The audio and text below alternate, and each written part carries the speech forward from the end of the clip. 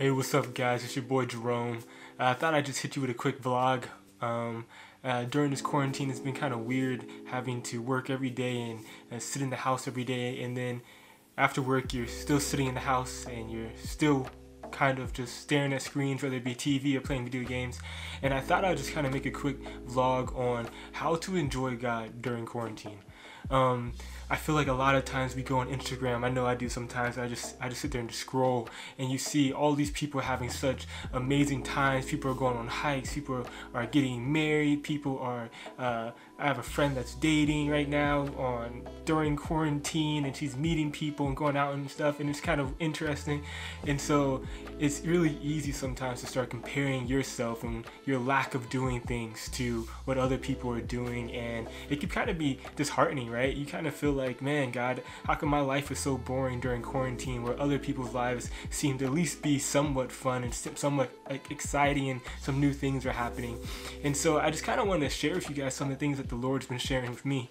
And the lesson is really simple and it's simply this, man, that that God has called us to just enjoy the moment right?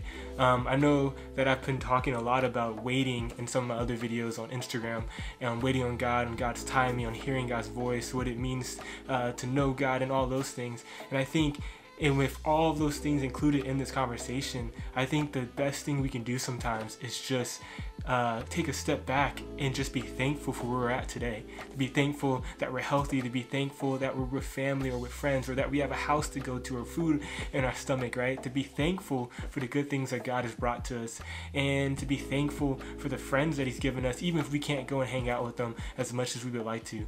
Um, so I was kind of just thinking about this topic, and I kind of went to, uh, came to Ecclesiastics, right? Ecclesiastes, um, and Solomon just talks about, he says it over and over again, how after after being the wisest man in the world, right? After experimenting with all types of things, right? Because Solomon's kind of crazy when you read through Ecclesiastes. He comes to the conclusion that the best thing that we can do in our lives is to simply go hang out with friends, to go go eat, to go drink, and to just enjoy life and to enjoy the work that we're doing.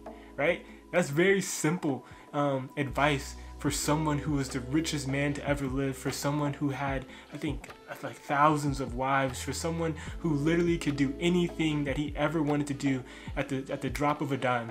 He came down to the, the conclusion that the the best thing for us to do is to simply go hang out with friends, go hang out with family, to go out and eat and drink, and to just enjoy life and to enjoy the present moment. And so I know during this quarantine, a lot of us can't really go out and eat and drink, but we can go on Zoom and hang out with our friends. We can go and maybe do hikes with one or two people. We can be thankful for the people that we do have in our lives. And sometimes that's the best thing that you can do for your soul, man, during these times of quarantine. So I hope that encourages you guys to maybe just uh, to take a step back and to just relax, man. The quarantine is not going to last forever. Uh, this season will pass. This storm will pass, right? Um, and to just enjoy the moment and to enjoy the opportunities that are present today. Uh, so I hope that blesses you guys. Um, love to connect with you guys on YouTube or Instagram, wherever you're watching this. Leave a comment below and let's link up. All right, guys. I'll talk to you later. Peace.